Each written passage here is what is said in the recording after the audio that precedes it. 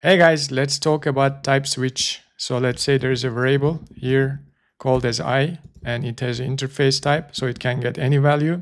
So let's define here integer value and we're going to use the type switch here.